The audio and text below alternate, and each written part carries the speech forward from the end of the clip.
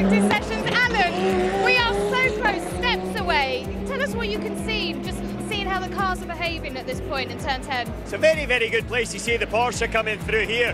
Think about this corner, Louise, is you're braking as you're turning as well. So the inside front wheel is always unloaded, very easy to lock up.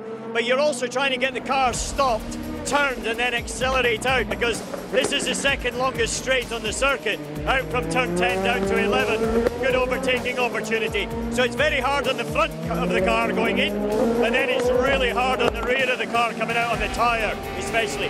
That'll be a big thing in the race traction out of this corner. One thing I've noticed is the line the different lines that they're taking. Is that mistakes or is that the different classes? Well if you ask the driver I'm sure he's going to say it's, it's intentional but it's not it's mistakes.